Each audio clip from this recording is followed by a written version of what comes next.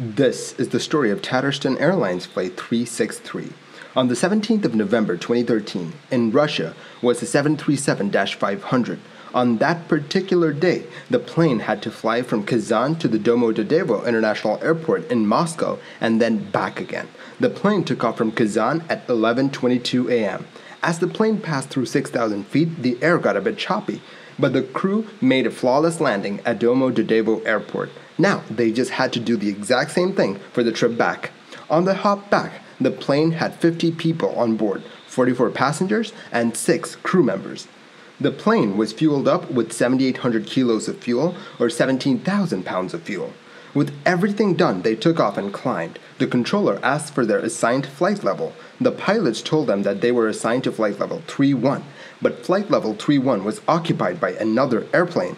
So they flew at flight level 2-9. As the plane entered the Kazan area control, the crew asked the controller for permission to descend down to 7,000 feet. The Kazan radio controller greeted the crew. Tatarstan 363, Kazan radar. Good evening, cleared for ILS runway 29, QFE 980, descend to 500 meters.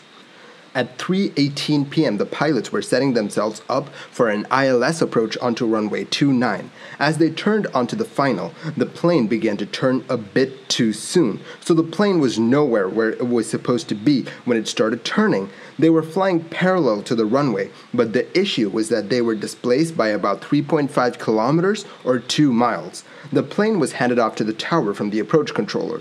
The tower controller said, Tatarstan 363, Kazan Tower, good evening. Distance 14 kilometers, right of heading. The controller had noticed that they were off to the right.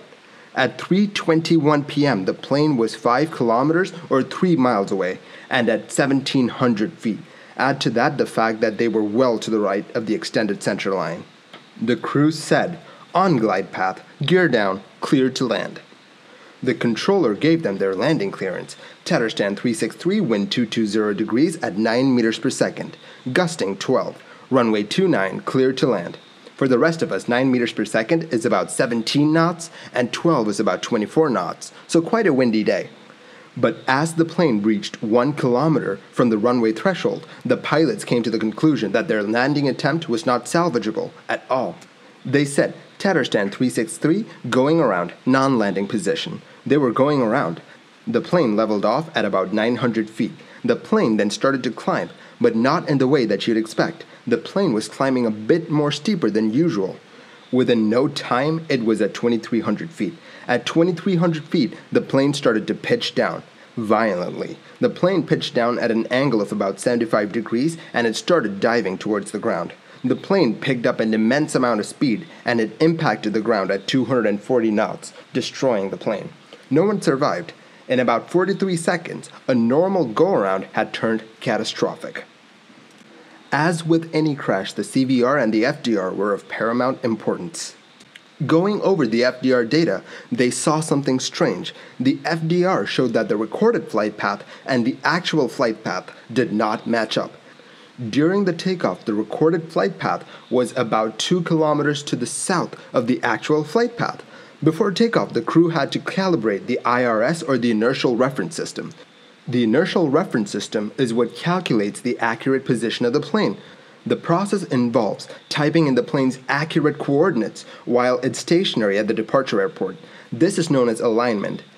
In the case of Flight 363, by the time they got to their destination, that difference between the actual flight path and the flight path that the plane was calculating had grown to about 4 kilometers. The plane is designed to correct errors like this. It is designed to use VOR and DME beacons to correct the position given by the IRS, but the IRS, once aligned, cannot be changed in flight. The FMC uses data from nearby VORs and DMEs to correct the data given by the IRS. In essence, the FMC is fact checking the IRS with all of the other signals that it receives. As the plane got closer to its destination, the pilots got an IRS nav only error. This was the plane telling them that the navigational accuracy was well below a certain threshold for this portion of the flight with the controller telling them that they were off course by a bit. The crew discussed the issue and changed the plane from LNAV to the heading select mode. In LNAV, the plane uses VORs and DMEs and other beacons to fly a particular path, but in heading select mode, the plane flew a heading that the pilots told it to. They turned the plane to 73 degrees from 68 degrees, but this wasn't enough to guide the plane back towards the runway. They were 4 kilometers to the north of the Miss Me waypoint. They then turned to 090 degrees in an attempt to fix all that was wrong, but that did not work either. They were still off the path that they were supposed to be on. At 3:16 p.m., the plane turned 8 degrees to the right in an attempt to fix their navigational issue. The controller thought that they were starting their base turn, and the controller said, "Turn descend 363, early for base turn." Soon the plane was at the point where they had to start their base turn. But despite everything that the pilots had done, the plane was nowhere near the standard terminal arrival route that they were flying. The controller knew this. The crew knew this. The crew knew that they were a bit off course, but they did not have a clear idea of where they were in relation to the approach. After their turn on to final, they were still offset by about 4 kilometers. This explains why the VOR slash LOC mode didn't line the plane up with the center line. When you intercept the localizer for a runway, you can turn on the VOR slash LOC mode and the plane will use beacons at the foot of the runway to line the plane up with the runway. But since Flight 363 was so off course, that did not happen. At 3:20 p.m., the pilots wisened up. The pilot flying said, "Well, we neither have the landing position nor anything else. Just 4 miles to go. Now it's going to appear, we'll press the go around." The pilots knew that this approach was a lost cause. Their best option would be to go around and try again. The pilots discussed the glide path a number of times. The controller asked the crew if they were ready to land. The crew said yes, but the mood in the cockpit did not back that up. The first officer said, It feels as if we're going the wrong way. The captain said, If something goes wrong, we can go around now. The pilots were glued to the ILS display, hoping that it would show them that they were on the glide path and lined up. But how could it? The plane was still 4 kilometers to the right. The controller cleared the plane to land despite it being nowhere where it needed to be. At 3:22 p.m., the localizer was captured and the plane started to line itself up with the runway. The crew set the runway heading on the mode control panel should they need to go around. They still could not see the runway. The cloud base was at about 820 feet. They passed through 1,000 feet. They soon broke through the clouds, and the first officer sighted the runway. Only one issue they were too high. They were so high that they were right on top of the runway. The PAPI lights showed four white lights. The first officer said, Huh, that's it. Here, the runway underneath us. No, we're too high. Four white lights. We're too high. The captain frantically searched for the runway. The co pilot said, Here it is, the runway. No, go around, go around. The captain, listening to his first officer, said, Go around, report we are going around, position unsuitable for landing. At 3:22 p.m. the TOGA mode was enabled. As per design, the landing autopilot mode was cancelled and the plane changed to the flight director mode.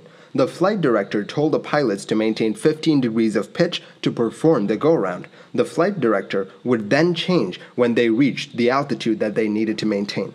Six seconds later, the go around thrust was achieved and the plane accelerated from 130 knots to 150 knots, but no significant control inputs were made. Due to the way the 737 is built, the plane started climbing. Since the engines are well below the center of gravity, a significant increase in thrust will pitch the plane up, even if you don't give it explicit control inputs. At this point, physics was plying the plane. The nose continued to pitch up, going through 15, 20, and even 25 degrees. The FDR recorded a 1 degree nose down input from the pilot as the plane went through 20 degrees. The plane also started banking at this point. Due to the excessive pitch, the speed began to fall. It was down to 117 knots. To prevent the plane from stalling out, the trim system trimmed the plane's nose down by 1.7 degrees. The first officer reminded the captain to retract the landing gear, which the captain did. After that, they then set the go around altitude to 1700 feet. The plane was still at 25 degrees of pitch and at 125 knots. The pilot now pitched the nose down in an attempt to get the plane back under control. But now they had the opposite problem. Within 25 seconds, the plane went from 25 degrees of nose up to about 0 degrees, but then the plane started to pitch down. The captain pulled back in an attempt to slow his descent. but the plane was now pitched 20 degrees nose down and it was at 140 knots and accelerating at 10 knots a second. They were now descending at 5,000 feet per minute, and that's how the plane was till impact. The word that the report used to describe the control inputs was chaotic, and I can't help but agree. Few of the investigators were of the opinion that the linkages to the elevators had jammed, and that's why we didn't see any pitch up commands during the go around. They compared the data for the accident plane and a Turkish plane that had an elevator jam. They didn't see any similarities. Moreover, the CVR did not indicate a control issue, and the control inputs made by the crew were wildly different from the ones made by the Turkish crew. Moreover, they tested the valves in the system afterwards, and it worked perfectly. Now they switched their attention to the crew, and this is where things started to fall into place. The captain's initial pilot training was not from a recognized institution. His training documents were fake, and his pilot license was, quote, issued unreasonably. The captain had about 2,500 hours in the 737, so the captain had some sort of piloting skills, but as per the last few minutes of the flight, we can see that the captain lacked situational skills. Moreover, it was possible for the management of the airline to find out that the pilot's license was fake. Quote, even a superficial analysis of the documents that allegedly confirmed the PIC's conversion training to become a pilot could help to find out obvious inconsistencies. For example, when the PIC was allegedly undergoing training and passing tests, he continued conducting line flights for the airline. Moreover, the institute where the captain got his license was shut down, and no one thought to verify the skills of the captain and his credentials. The captain's history is just riddled with things like this. The captain had lied and faked his way onto the flight deck. The captain's command of the English language was questionable. The captain, as a part of his training, attempted a test which lasted for about one and a half hours. He scored 57%. He retook the test 15 minutes later, and on his second attempt, he scored 89% on the test. The investigators found this suspicious. Moreover, during the training the captain got from Tatarstan Airlines, they found that the captain was only trained in one engine go arounds, and he had not trained for a go around with two engines. Moreover, the captain thought that the autopilot would carry out the go around by itself, but in reality, the autopilot disconnected when the go around started. The captain was not qualified to fly the 737, and he should not have been in control of the plane. This crash has mainly three phases. Phase 1 is the part where they were off course due to the map being offset. Phase 2 is the go around itself, and Phase 3 is what happened after the go around was initiated. There's so much more to this crash. The crew was working under a heavy workload, the co pilot's license was valid, but he was a weak pilot himself the negative G's that they were pulling during the go around could have disoriented the crew, and there's just a lot more nuance to this crash. But in this case, the pilot in the cockpit just wasn't up to the job. Thank you for watching this episode of Mini Air Crash Investigation.